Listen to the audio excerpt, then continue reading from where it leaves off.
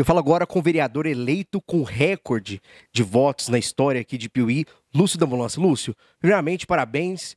Gostaria que você nos falasse aí qual é a sensação sua que você sentiu por ser eleito, ainda mais com essa quantidade de votos, e também seus planos para Piuí nesses quatro anos. É, bom dia a todos piuienses, né? Uma sensação de gratificação, né? Gratidão.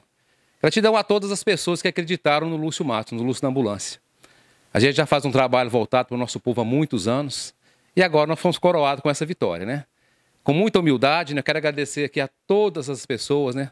Aos 1.110 eleitores que confiaram seu voto em Lúcio da Ambulância e dizer para vocês que o nosso compromisso de trabalhar em, prol, trabalhar em prol do nosso povo, na área da saúde, trabalhar muito a questão da hemodiálise, pessoal que faz da oncologia, funcionário público agora, ele vai ter ali um representante que realmente né, vai vestir a camisa do nosso funcionário, que há muitos anos nós não tivemos, não temos né, um vereador que represente a nossa caraça ali.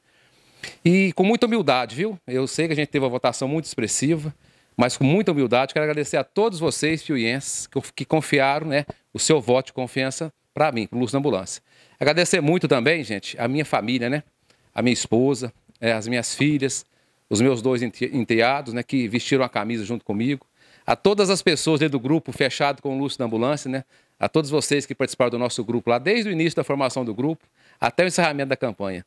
Todos vocês, um forte abraço, né? Agradecer também ao prefeito, nosso prefeito reeleito, Dr. Paulo, né? Ao Cirineu. Dr. Paulo também é uma pessoa muito bacana, Piuíta de parabéns pela escolha do prefeito. E também a todos os vereadores que foram eleitos e reeleitos, né? Eu tenho certeza que juntos iremos fazer uma parceria muito bacana ali e trabalhar em prol do nosso povo. Que o nosso objetivo é esse. Não adianta ter um cargo de vereador somente para sentar naquela cadeira. Realmente nós temos que ter projetos voltados para o nosso povo. Nós temos que mudar a vida de alguém. E quando nós não conseguimos fazer isso, não serve para nada. Então, o nosso cargo de vereador é para mudar realmente a vida de quem mais precisa, que é o nosso povo, e principalmente o mais carente, o pobre, aquele que paga aluguel, aquele que depende da saúde, que depende do exame ali com urgência, às vezes não consegue. Esse é o nosso objetivo. E o Lúcio da Ambulância vai cumprir todos os objetivos, se Deus quiser.